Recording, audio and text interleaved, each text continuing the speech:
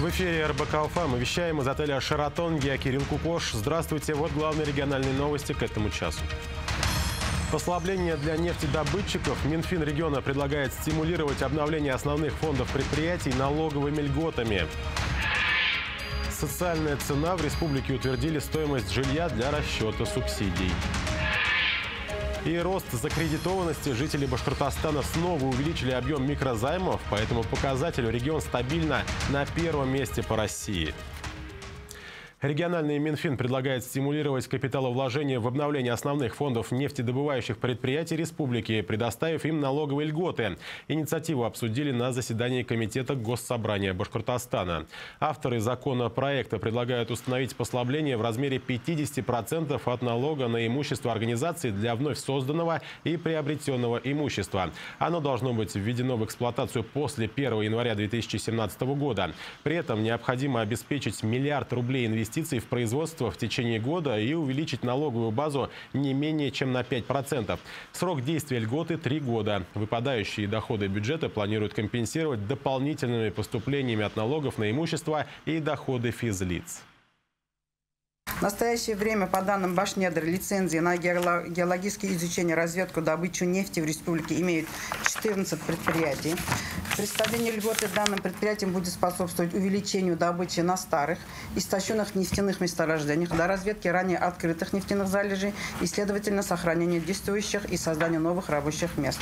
Выпадающие доходы бюджета на 17-19 годы по налогу на имущество составят около 300 миллионов рублей ежегодно.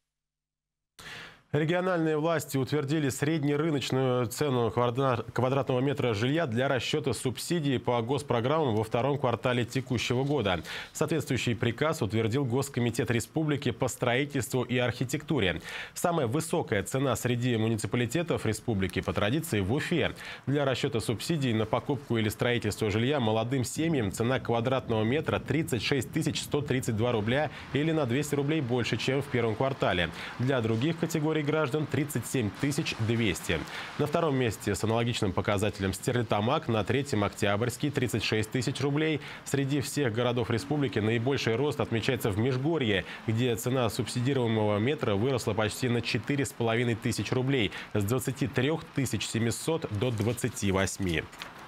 Сейчас переходим к информации о курсах валют, установленных Центробанком на сегодня. Доллары и евро синхронно подорожали. Курс американской валюты вырос на 47 копеек, 57,57. Европейская подорожала на 40 копеек, 62 рубля 72 копейки. Лучшие обменные курсы на данный момент. Покупка долларов в Быстробанке и Уралкапиталбанке за 58 рублей 51 копейку. Продажа в банке Югра за 58,50. Наиболее выгодные предложения по покупке евро в Быстробанке за 64 рубля 31 копейку по продаже также в банке Югра за 63,90. Вот мы уже затрагивали тему падения реальных доходов населения жителей нашего региона на 4%. И вот в продолжении темы объем займов жителей Башкортостана в микрофинансовых организациях по итогам первого квартала вырос на 6,5% до 7 миллиардов рублей. Это первый показатель по стране. На втором месте в топ-20 регионов лидеров расположилась Москва с объемом микрозаймов в 6 миллиардов рублей со снижением почти на 3%. На третьем месте Московская область с суммой, э, суммой суммой займов в 5 миллиардов и снижением на 2%. Замыкают топ-20 Удмуртская республика и Вологодская область почти 2 миллиарда и рост на 16 и 14% соответственно. В целом по стране объем займов в МФО за первый квартал вырос на 7%. Это самый низкий показатель за два последних года.